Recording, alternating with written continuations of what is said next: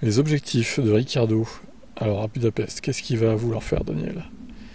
Je pense que si la voiture est équilibrée, elle n'a peut-être pas autant d'adhérence que la Red Bull, que j'ai conduite il y a quelques jours, mais si elle est relativement équilibrée, c'est quelque chose avec lequel je peux travailler. Ah non, je te confirme qu'elle n'a pas autant de grip que la Red Bull. Là, ça va être euh, le coup d'épée dans l'eau, le coup de massue pour lui. Là. Quels, sont, les objectifs de l'Australien à la bonne humeur pour la saison de Fattori? De son propre aveu, il a surtout beaucoup à voir pour s'amuser et prendre du plaisir. Je me réjouis de pouvoir aussi le développer et de mettre euh, à profit mon expérience.